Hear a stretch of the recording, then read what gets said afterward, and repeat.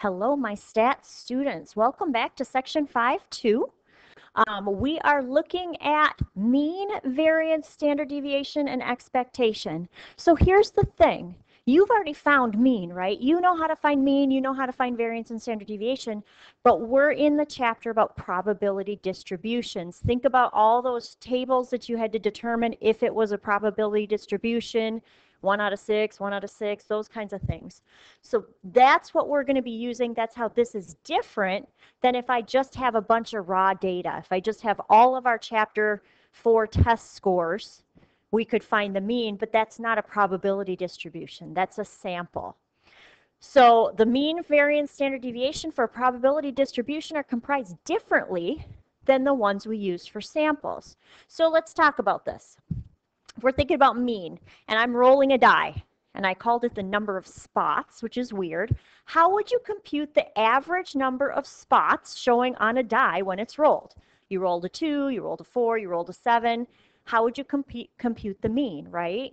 Well, we have to decide how many times we're going to roll it. And we know from the law of large numbers, the more times we roll it, the closer we get to the theoretical probability. So what do we do? We try the mean after we do 10 rolls or 100 rolls or 200 rolls. But it's only a sample. We don't have it exactly because remember, law of large number says if we do 20,000 rolls, we're going to get closer and closer to the theoretical mean or theoretical probability. So we have to roll the die an infinite number of times. That's why we can't just use a sample or a population mean because n is equal to infinity, we would never have the rolls ending. So we're going to use our probability distribution to make that happen. So let's talk about tossing a coin. Suppose we consider tossing a coin two times. List the sample space. So I have a you know, two two flips. We could make a tree diagram, right? Or we could just write out a sample space. So we could get heads, heads, heads, tails, tails, heads, or tails, tails. There's our sample space. So let's look at the probability distribution. So if our random variable x is the number of heads that we roll, we could get how many? We could get 0, 1, or 2, right? So what's the probability of rolling 0 heads? we had one of these in our sample space. That one has zero heads, so one out of four. How about the probability of rolling one head in either one, any of those sample spaces? Well, there's two of them, correct? There's heads, tails, or tails, heads. So two out of the four. If you prefer a one half, I know I do. And what's the probability of rolling um, two heads? One out of the four. So it's probability, it's um, using our sample space. Remember, we use sample spaces when we are doing our theoretical probability. So that's one out of four. So we've got all that. We could find the average, right? We could do a little bit of work. Let's flip to the next page. I'm going to come back to this because we're going to need those numbers and I didn't want to redo it. So if we are looking for the mean of a probability distribution, remember this is using mu. Everybody remembers mu. Mu stands for population mean because we're looking at this law of large numbers because n is equal to infinity. So that's why we're going to use mu here. I've got two versions. The top one is the technical description. It's long. The second one is how we're going to actually do the calculating and try to make our lives a little bit easier. So if I just put the top one in here, we do our x sub 1, our first x value, times the probability of it, plus the second x value times the probability of it plus the third x value times the probability of it. Plus we keep go on and on and on and on, no matter depending on how long our probability distribution table is, until we hit our last value of x and multiply it by the probability of that happening. When we add everything up, right, remember our symbol for that, we just talked about that the other day. So mu is technically equal to the sum of, hopefully you remember, sigma, sum of every single one of the x times its probability. So in that table, you just work in them in partners, almost like an xy table. So the sum of each x value times its probability. So if I go back, and I'm going to use the formula to find that mean. So that's why I had that back there. Let me flip over here. So it is, I thought I had that in here. So mu is equal to the sum of each x times its probability. So we're going to partner these guys up. So I'm going to start adding this. 0 times 1 fourth plus 1 times the 2 fourths or the 1 half, whichever you prefer, plus 2 times the 1 fourth. I've run out of room on my probability distribution table, so therefore I am done. I've added up all of my x's times their probabilities. I should have jotted down mu is equal to all of that. You've got a calculator. You can make your life easier. You can go ahead and do that piece by piece. What is that? 2 plus a half plus a half? Or sorry, 0 plus a half plus a half. So my mu is equal to 1 half plus 1 half is 1. So the mean number of heads that we would flip when we toss two coins is one head. That's the mean, that's the average. Right? That one came out nice and neat, but we do need to mention our rounding rule, which is always round to one more decimal place than your original data. If you're leaving it in fraction form, make sure it's simplified. Um, I got a little picky on the chapter 4 test. Sometimes I say leave it in fraction form. Sometimes I say I leave it in decimal form. Sometimes I don't care. I usually do both just in case. All right. So that seemed common sense, right? One was the average number of heads that we would get. What about if we roll a die? So use the probability distribution to find the mean number of spots, dots, whatever, that appear when you roll a fair die, right? So our outcomes are 1 through 6. This is actually right here, our sample space. We could get anything from 1 to 6 spots. In the last one, we had to write out the sample space and count how many heads there were. In a die, you either get 1 through 6. So what is the probability of rolling a die and getting one dot? Well, favorable over possible. There's one one and there's six possible sides. How about a two, right? I feel like we filled out this probability distribution once before. Wouldn't you agree that you have a one out of six probability of each one of those outcomes? Each probability has an equal opportunity. So it then says to find the mean. So our mean is equal to our sum of our x's times our probabilities. Pair these guys up. So mu is equal to 1 times a sixth plus 2 times a sixth.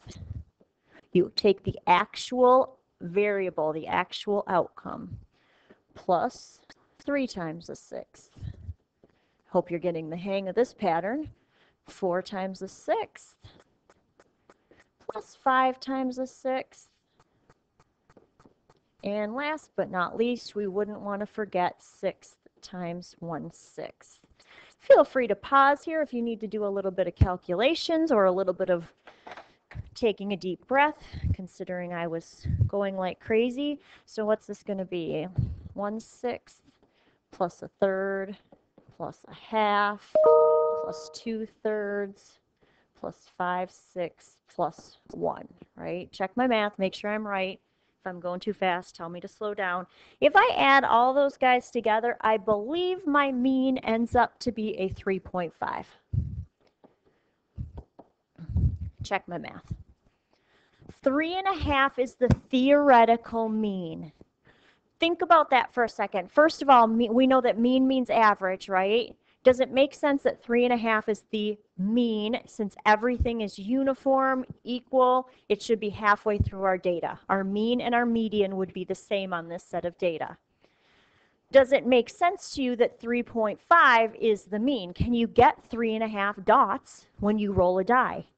You can't, right? This can't happen, but it's still the theoretical mean. It's when we roll an infinite number of times. So three and a half can't happen. Sorry about that. But it is the average, not a specific roll. I'll put can't happen on one roll, but it can be the average. If we found the average or the mean for your chapter 4 tests, we might not get anybody's test score, but it would still be the average, right? So three and a half can be an average, but it can't happen on a specific roll. So it's the theoretical average. All right, hopefully everybody's got the pattern down. That's not really that difficult. If we just fill this out, because I've done only problems with fractions, let's make sure everybody's good. So if we talk about the number of trips that American adults take per year, 6% don't take any trips, 70% take one trip, 20, blah, blah, blah. Fill in the chart below and find the mean number of trips that American adults take each year. So my x, my random variable, is the number of trips, 0 to 4 the probability of that. It tells us this time in um, proportion form or decimal form, right? What is the probability of the percentage of people who take zero trips? That would be 6%. The people who take one trip would be 70%. Two trips is 20%. Three, tip, three trips is 3%. And 1% take four trips. Lucky people. Remember, I could ask you, is this the probability distribution? We'd add up, make sure it all adds up to 100%, right? Or one whole. And then if I asked you to find the mean, we'd go ahead and do this like we've been doing. 0 times 0.06 plus 1 times 0.70 plus 2 times 0.20. Do we need to do the whole problem or do you get the idea of this? Hopefully you get the idea because I'm not going to finish that math. I'm going to just make sure everybody's good on that. So that's how we find the mean when we're using a probability distribution. And remember that rounding rule, since this um, problem has two decimal places, when I put it into decimal form, your answer should end up being three numbers after the decimal. Three numbers after the decimal one more than our original data. So just to verify that. All right, so that's how we find mean. That's what we're talking about. We're using probability distributions. We are not using raw data. So let's talk about variance and standard deviation. We know how to do this, and there are some similarities here. I want to point out this very misleading sentence right here. This formula is tedious, so we use a simpler form. So this top stuff is just to remind you what variance and standard deviation, right? That tells you how spread out your data is. It tells you um, if everything's clustered really close together, really wide, those kinds of things. Remember, variance is a tool to get to standard deviation, and we're looking at the average number of spaces that each piece of data is. So it's just an average of the distance from each piece of data to the mean. So this describes the spread of the distribution. Remember, the mean is the center of the universe. So hopefully you remember our little sigma. It's a small letter sigma compared to the E-looking thing that is a capital letter sigma that means sum. And remember, sigma without the squared is the standard deviation. Sorry for my sloppy writing. Sigma squared is equal to our variance. I don't use vari variance much except to get to standard deviation. So the variance is equal to the sum of each piece of data minus the mean times its probability. So you have to do each piece of data. So um, the first x minus the average or minus the mean squared multiplied by its probability plus the next x value minus the mean squared plus uh, times its probability. So we got a lot of math to do. This can get tedious. Again, we know to get from variance to standard deviation, we square root it. However, this formula is tedious. So why don't we use a simpler, algebraically equivalent formula? Hopefully you're going to like this one better. Just like with standard deviation, if you mess up on your mean, every single part of your problem is wrong. This is going to eliminate that issue. You still need to know the mean, but we don't have to use it in every single piece of the problem. So here's our simpler formula for variance. Sigma squared is equal to, that doesn't help much. Let me find a color that you can see. Sigma squared is equal to, that doesn't help much either. Sorry, guys. I really want to highlight this. One more try. Maybe that's good. The sum of each x value squared times its probability. And then at the end, after you add all those up, you're going to subtract your mean squared. So this is a big old adding problem right here. At the end, you're going to subtract mu squared. So therefore, we know to get from variance to standard deviation, you square root that. And standard deviation, remember, and variation are always positive. So variance and standard deviation are always positive. We're squaring things to get rid of negative numbers. Even though we're subtracting mu squared at the end, you will still always have a positive value because Standard deviation is nothing more than the average distance that your points are, your values are from the mean. So let's give this a whirl. So let's go back to our probability distribution. We did this earlier, and I'm pretty sure we found that our theoretical mean was 3.5. Find the variance and the standard deviation. So what we do, remember, think about that formula. We're going to take each x value squared times its probability, add them all up, and subtract mu squared at the end. So I'm going to do sigma squared is equal to, so these guys are still a partner, 1 squared times 1 sixth plus 2 squared times a sixth I'm going to go through the whole list this way. You're going to get tired of hearing me say 3 squared plus a sixth plus 4 squared times a sixth plus 5 squared times 1 sixth plus 6 squared times a sixth. This is the part that drives me crazy because I just ran out of room, but there is one more part of this problem. I have to subtract mu squared. Do all of this first. Subtract mu squared after you get that answer. So go to your calculators, hit pause, start calculating, come back when you've got an answer, hit play again, and tell me if you got, I'll put approximately uh, let's see, it looks like it's a 2.916 repeating when I did my problem.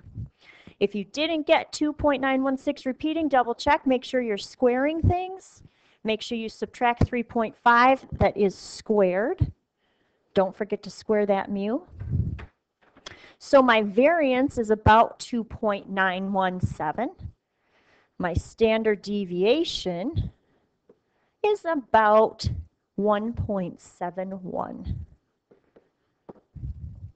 I went to two numbers after the decimal here. My answer was in fractions, so we can't really use that rounding rule. At the very least, go to two numbers after the decimal, and I'll be happy. All right. So we know that standard deviation, so every um, piece of data, every one of those one-sixth is about 1.71 units away from the mean of 3.5. All right. So we could do the same thing with this. I think we're good here. Let's just talk about expectation. Expectation is a theory and idea used in a lot of interesting places. It is an expected value. Remember, we make a lot of predictions and statistics. This is using our statistics to make some kind of prediction, expected value, um, kind of tells us some other things behind the scene. We use this a lot in game of games of chance. In insurance, whether we give somebody an insurance policy, other things that involve decision theory. Do I need to make a decision? Is this a yes or a no? Do I go forward or do I not? So you need to know this. I kind of tried to keep it short, but expected value, we use E of x. E of x is the mean of the distribution. So if you can find mean, you can find expected value. We just figured out how to find mean, right? It's each x value times its probability, and you add those guys all up. So I'll put the formula up here, even though you know this. Mu is equal to e of x, which is equal to the sum of each value times its probability. You can't think that enough. I don't want you to forget how to do that. Here's the thing, if we use this in games of chance, this is an interesting idea. If you use this in a game of chance, and we'll do an example so you can see what I'm talking about, if your expected value comes out to zero, it is a fair game. Anybody could win. It's all good. If your expected value, E of x, is less than zero, therefore it's negative, right? it's negative for you because it favors the house. It favors the other side. You are going to lose in the long run. You might win a couple whatever along the way, but in the long run, you're going to lose. It favors the house. And the opposite then is true. If your expected value is greater than zero or a positive value, the game favors the player. In the long run, the player will win. So it's kind of a cool idea. Think about raffles and lotteries and things like that. So let's do an example. This one takes some thinking. Let's do an example and then I think we're going to call it a day. So if I'm playing a dice game, I don't know, I came up with this game because I want to try to scam people and I want to know is this fair? So a person plays $3, pays $3, sorry, to play a game and you roll a die one time. You pay three bucks to roll that die. Here's the thing. If you get a one or two or a three, you win absolutely nothing. You walk away, you just lost your three bucks, right? If you roll a four, five, or six, you win the difference between the number rolled and three dollars. So if you rolled a four, you would do four minus three, you win a buck. Win five, five minus three, win two bucks. Find the expectation for this game. Is it fair? So find the gain and gain and probability for each roll. So we could roll, right? It told us from a 1 to a 6. That's our sample space. Our gain is how much we are going to win. Our probability is the easy part because what's the probability of rolling a 1? 1 out of 6, right? All of these are 1 out of 6. So the probability is actually the easy part of setting up this three column table, three row table, whatever it is. So if I roll a one, says if one, two, or three comes up, I win nothing. but keep in mind, I paid to, to roll that die, right? How am I doing on money right now if I rolled a one? I have just lost my $3, and I'm not going to be happy about it. It's not just that I win nothing, it's that I also paid in. What about if I roll a two? One, two, or three comes up, I win nothing. I have paid, and a second time, and I lost my three bucks because I rolled a two. If a three comes up, I win nothing again. What about if a 4 comes up? This one you got to think it through for just a second, right? Because if a 4 comes up, I win the difference between the number and 3.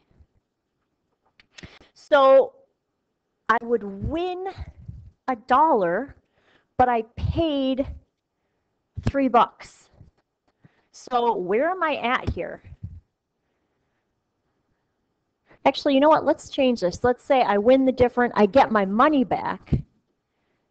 Otherwise, it's going to be a very unfair game. I get my money back plus the difference between the um, number rolled and 3.